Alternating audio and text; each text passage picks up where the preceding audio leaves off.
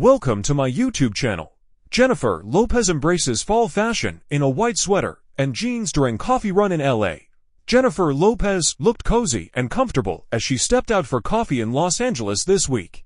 The 55-year-old entertainer, who attended the Governor's Awards days ago, was clad in an oversized, knit, white sweater with a mock neckline and flared long sleeves. She carried a small, matching Hermes handbag and wore a pair of light wash jeans in the trending barrel leg silhouette. Her autumn-inspired look was punctuated with a pair of Uggs tan-colored platform booties. The mother of two, who shares 16-year-old twins Em and Max with ex-husband Marc Anthony, pulled her honey blonde highlighted locks into a low ponytail for the outing. The Bronx-bred music artist wore a light face of makeup underneath a pair of oversized, round, lightly tinted shades.